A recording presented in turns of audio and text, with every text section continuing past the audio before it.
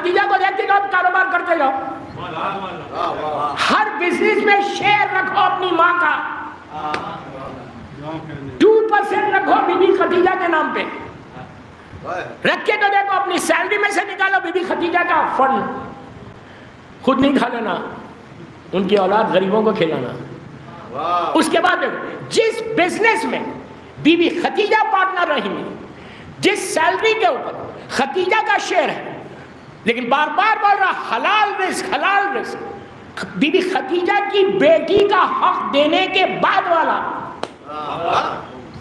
यह हकीकत है। उसके बाद देखो तुम बिज़नेस में ऐसा ग्रो करते कभी वो ऐसा नहीं रहता, अगर बीबी खतीजा को पार्टनर बना लो। ये औरतों का काम है। खाली बैठ के सुन के मत जाओ। जाके अपने हस्बैंड्स को एक हज़ार चीज़ें बोलती हो ना, ये चाहिए ये चाहिए ये चाहिए ये चाहिए। मैं कोई झगड़ा नहीं चाहता। आपकी, आपके हस्बैंड है आप मांगे, जो चाहे मांगे। उसी तरह अपने हस्बैंड्स को, अपने शौहरों को नैक करो कि दो बीबी खतीजा का हक दो शहजादी का हक पैसे को हलाल करो, इस तरह नैक करो। औरत घर बनाती है, औरत घर बिगाड़ती है। लखनऊ की औरत तो सब बनाती है भाई। मैं एक दिन और हूँ ना, मेरा ही खाना ना बंद कर दे। सलवार पढ़ने